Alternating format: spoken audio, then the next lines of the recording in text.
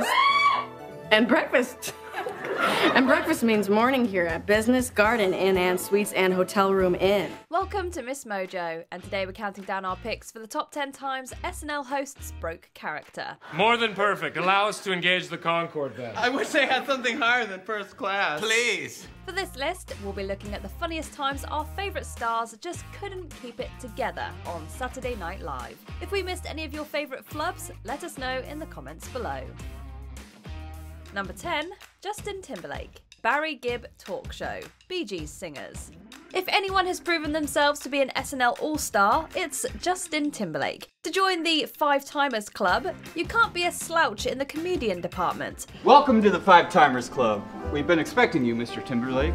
Wow. Smoking jacket? Uh, please but even five-timers fall sometimes. In one of Timberlake's earlier performances on the show, he did a skit with Jimmy Fallon titled The Barry Gibb Talk Show. In this skit, Fallon plays the titular Gibb, taking on the singer's signature falsetto and speaking voice. What effect do you think this is gonna have on California politics as a whole? As Barry's brother Robin, Timberlake is hilarious, but sometimes has a hard time, understandably, keeping a straight straight face at Fallon's antics. The face he makes to try and keep himself from laughing is one for the books. Um,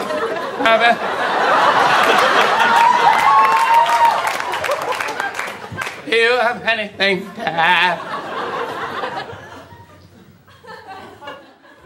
Number 9, Janet Jackson, Cork Soakers. To Janet's credit, it's pretty hard to watch this sketch and not crack a smile. This is where the final step in the bottling process happens, where we prepare all the corks for all the bottles of Brunello that you saw earlier. Jimmy Fallon, Horatio Sands, and other members of the SNL cast play a group of Italian winemakers who are teaching a group of tourists about their craft. I've always actually wondered about that. How do you cork the bottles?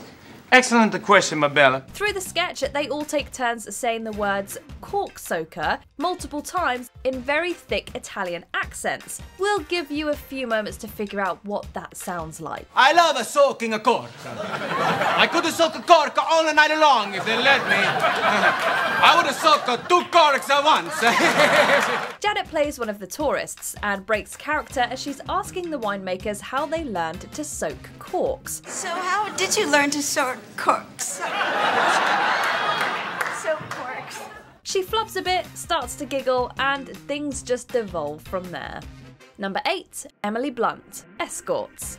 You'd think a star like Emily Blunt would have hosted Saturday Night Live multiple times, so you might be surprised to learn the actress only has one hosting gig under her belt so far. But I did get, get to improv a few little things, like, you know, the part where I said, uh, it's, it's me, you know, that, that, was, that was improvised. She did a wonderful job by our standards, but there was one skit where she sort of lost her cool. In a skit called Escorts, Blunt and cast member Leslie Jones play two escorts who get very specific about what they will and will not do. I will kiss, but only with this amount of tongue.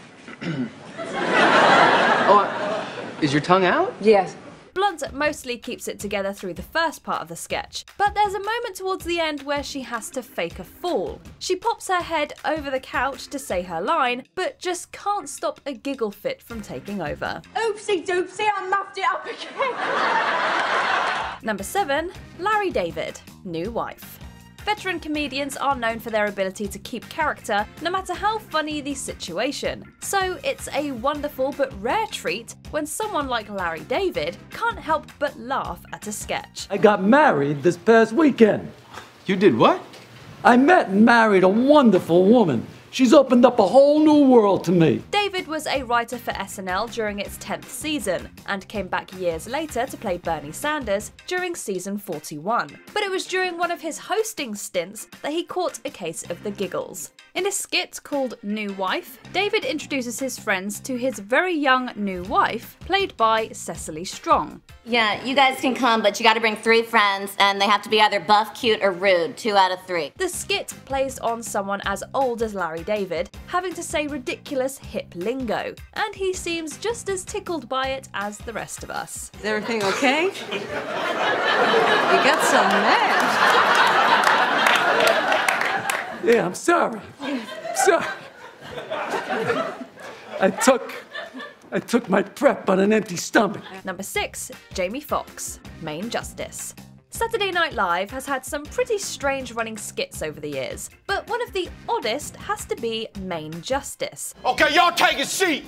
Y'all take a seat right here, right now! SNL veteran Justin Timberlake once starred in this sketch, but today we want to honour Jamie Foxx's turn.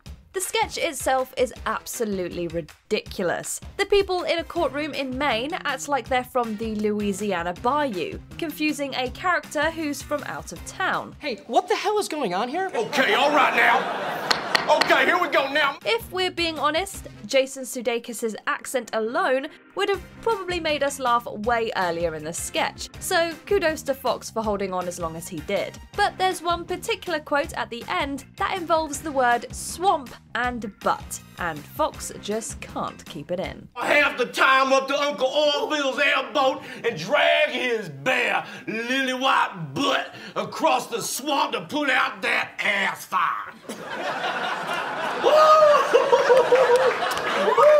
Number 5. Billie Eilish Hotel Ad. When a host doesn't have a lot of comedy chops under their belt, it's easy to see why some of the skits that Saturday Night Live writers come up with might throw them off their game. So is the case for Billie Eilish, who hosted the show in 2021 and did surprisingly well for a first time host, especially one so young. Our rooms provide every comfort required by law.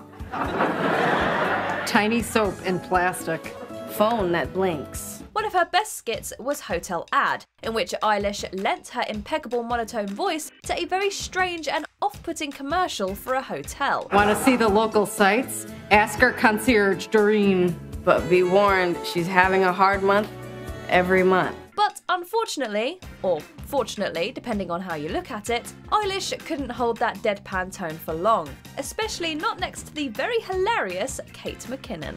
Situated between the DMV and a darkened Sonic, it's the location that will make your Uber driver say, You sure? Number four, Margot Robbie, Actress Round Table. Sometimes a skit hits a little too close to home. On Margot Robbie's only time hosting the show so far, one of the skits she did was a spoof of an actress's round table discussion featuring Robbie doing a fairly good Keira Knightley impression. Thank you. Actually, so great to be here supporting women in film. The other cast members are also playing younger, real actresses, all except for Kate McKinnon, who is playing a fake actress named Debette Goldry, who is much older and worked during the golden age of Hollywood. It's a pleasure to be alive.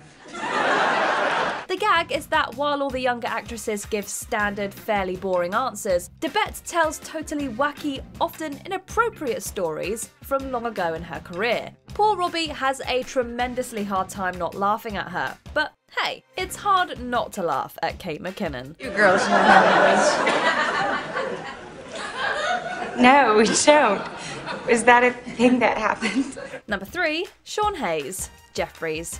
Not many actors are well known for a singular character, as Sean Hayes is, but Jack from Will and Grace is one of the most indelible sitcom characters of all time. Okay, okay. that's interesting. You'd think maybe you could have told me this, oh, I don't know, before I packed up my entire life. So it makes sense that Hayes would be given a character semi similar to Jack on his Saturday Night Live stint in 2001. Think Jack but a little more hipster. In this skit, Hayes and Jimmy Fallon play a couple of sales clerks at a store called Jeffries, who mock and belittle every customer who comes in. What?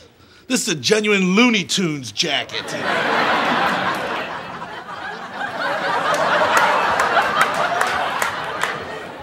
Wow, I didn't know Joey Buttafuoco had a garage sale. Hey mostly keeps it together during the skit, but when Will Ferrell rolls in on a motorised scooter, well, that's the end of Hayes' straight face. We're going to the Dolce Gabbana show. How fast can you have your bags packed for Milan? Number two, Kevin Hart, Barnes and Noble firing. And once again, we get a veteran comedian who can't quite keep it together. But to Kevin Hart's credit, this Barnes & Noble sketch is one of the funniest the show has produced in its later years. Hart plays a manager at a Barnes & Noble store who has to fire one of his employees. Unfortunately, I'm gonna have to let somebody go today. Yeah, right! Oh, what? We know you think it's us! Yeah, you nerds hate us because we work in a cafe! Thinking they're on the chopping block, Cecily Strong and Bobby Moynihan begin insulting their co workers within an inch of their lives. Trenton! Oh! Why do you always look so wet? Why? Do you do you hatch out of an egg every morning? These two are hilarious, but Tim Robinson is who finally gets Hart to crack. During one of Hart's lines, Robinson pops up behind him without warning, causing him to break character and let out a quick laugh. I would never fire any person in this room Except for Carl. Oh, no. Except for Carl. Reason being, he's old, he's useless, he's just not good to me. So Carl. Sorry, Carl. You gotta go. Before we continue, be sure to subscribe to our channel and ring the bell to get notified about our latest videos. You have the option to be notified for occasional videos or all of them. If you're on your phone, make sure you go into your settings and switch on notifications. Number 1. Ryan Gosling – Close Encounter when you make Ryan Gosling break character this badly, the only choice is to do it again. And that's exactly what Saturday Night Live did. Yes, you three experienced the first verified case of alien abduction, so naturally you are of great interest to the United States government. When Ryan Gosling first appeared in the Close Encounter sketch, there was no way we could have known just how iconic this appearance would come to be. The sketch portrays three people who are abducted by aliens and asked to tell the government about their experience, and marks another instance of Kate McKinnon making people absolutely lose lose it. Were these beings also bathed in light? Uh, no, no. They were uh, gray with big fat eyes, little mouths. They just uh, stared while I peed. As soon as she gets going, Gosling is absolutely down for the count. He tries to hide behind his hand, but nothing can hide that smile. So I had to just chill up there with Madame Coot Coot and Prune Shoe till the place opened up. Gosling later reprised the sketch, but nothing is as good as the original. Do you agree with our picks? Check out this other recent clip from Ms. Mojo. And be sure to subscribe and ring the bell to be notified about our latest videos.